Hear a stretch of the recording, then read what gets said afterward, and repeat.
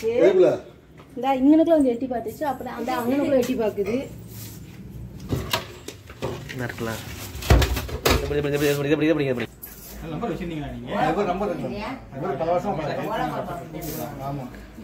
ஓலப்பம்னு சொல்லுவாங்க. டக்குன்னு பார்க்க அப்படியே தெரியும். அதை மாதிரி நான் டூ அந்த துணி பை பைய எடுங்களேன்.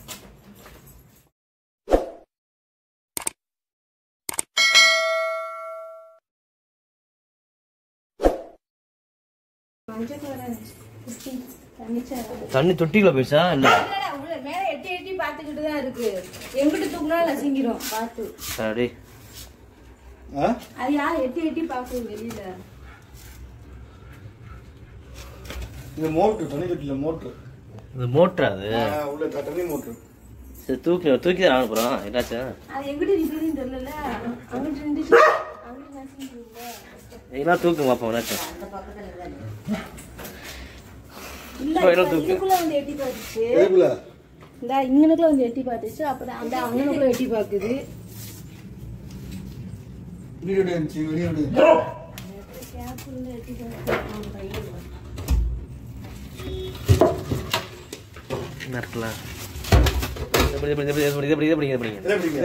பிடிங்க என்ன சாரையா?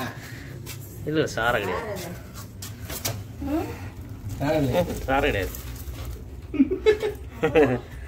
தூக்குங்கட்டு அது இது பேரு புல்லுருவி சொல்லுவாங்க காளியான் குட்டி என்னது புல்லுருவி பாம்பு பேரு ஆமா புல்லுருவி அது பாம்பு பேர் அது காளியான் குட்டி கடிக்கும் விஷம் கிடையாது கடிக்கும் விஷம் இல்லை வேணா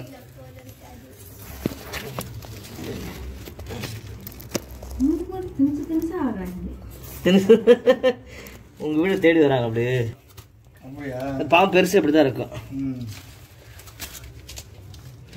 இது இவ்வளவுதான் இருக்கு. அது அவன் பள்ளம் ரொம்ப தண்ணி கிடக்க மாட்டேன் இவ்வளவு அதான் சொல்றேன் தூக்கி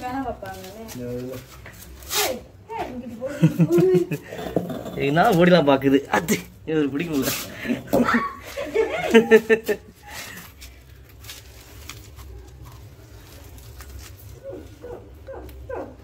ஆ? எப்படி பார்த்தீங்க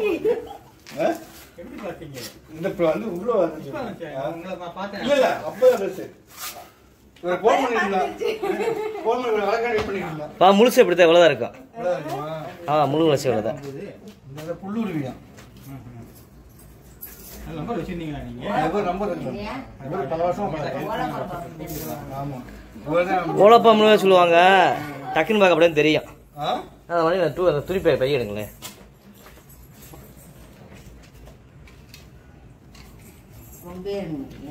நீளம் நல்லா இருக்கும். கொம்பேன் கிடையாது கொம்பேன் கருப்பா இருக்கும். சும்மா சும்மா விரிச்சு அதை விரிச்சு பிடிங்களா உள்ள போட்டு உள்ள போட்டு. சும்மா விரிச்சு போட்டு ஒன்றும் செய்யாது.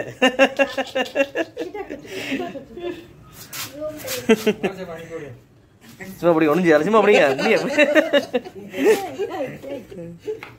வீடியோ எடுத்துக்கிட்டு இருக்க பாப்பா லூஸ் பாப்பா போட்டோ எடுத்துட்டேன் மாலவத்தி உள்ள போயிடுச்சா அது உள்ள பெருசு அதான் அந்த கேப் கிடைச்சா உங்களுக்கு